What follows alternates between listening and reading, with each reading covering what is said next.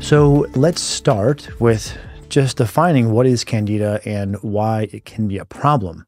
It's a yeast or a fungus normal to the human microbiome. So that's important to clarify because detecting any candida is not necessarily a problem.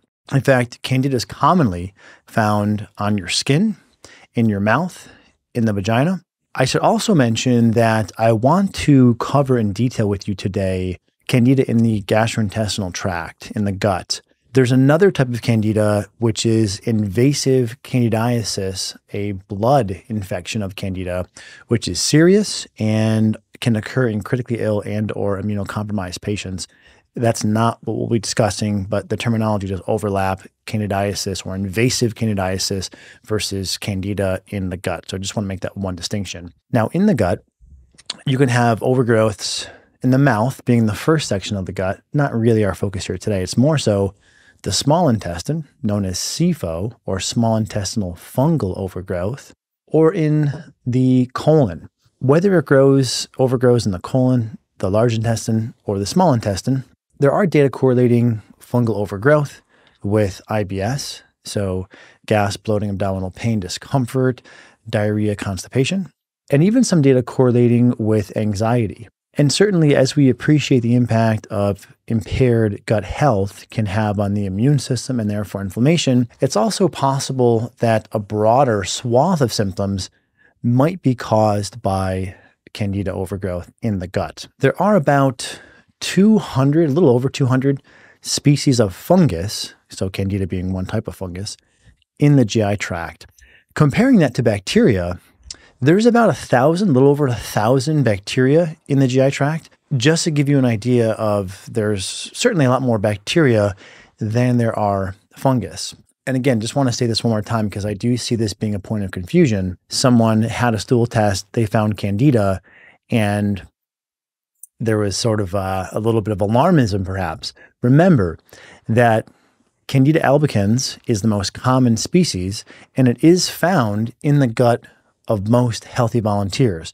Now, there is a way to distinguish is this a normal amount or abnormal, and we'll come to that in a moment.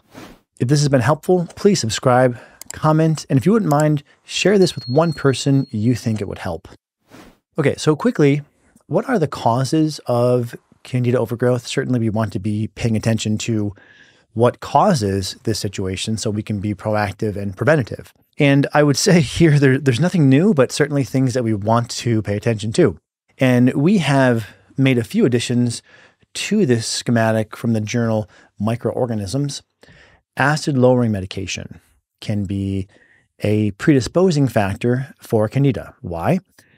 Well, you need to have acidic stomach contents to kill off bacteria and fungus and prevent them from seeding and overgrowing down the rest of the intestinal tract chronic stress. Remember that these bacteria and fungus, including candida, live inside of us normally as part of a symbiotic relationship. But something has to sort of police and make sure that there's not an overgrowth of these organisms who are hanging out, metabolizing foodstuffs, and doing other things that are good for us. But again, without some sort of governing force, they can overgrow. That governing force, in part, your immune system, and we know that stress will suppress your immune system.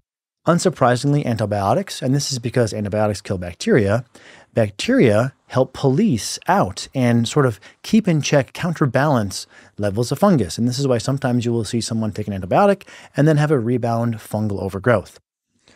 A sedentary lifestyle. We know that when people who are sedentary start exercising, they demonstrate richness or an increased abundance of healthy bacteria in their gut. So if you're sedentary, you're not allowing the world of bacteria to have an input, exercise that it needs to be rich. And remember, the bacterial colony helps put a balancing pressure onto the fungus that naturally occur in your digestive tract.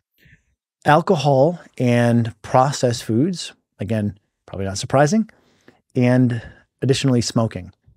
These factors, somewhat obviously, but just to make sure I state this, aren't unique to only causing fungal overgrowth.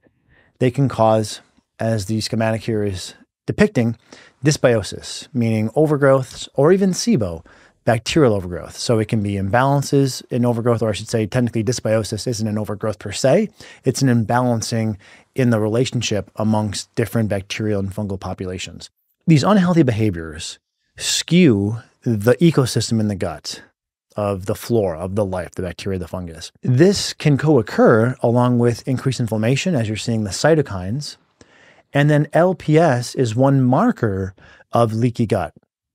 The takeaway here is that these imbalances in the gut tend to happen together, and it's rare that you see just one thing go out of whack. Now, depending on how you interpret that, that could be good news or bad news. I look at it very encouragingly, meaning that if you do have these imbalances, the right therapeutic supports will start to correct multiple imbalances simultaneously. So just keep that in mind. If we intervene correctly upstream, we'll have multiple downstream beneficial effects.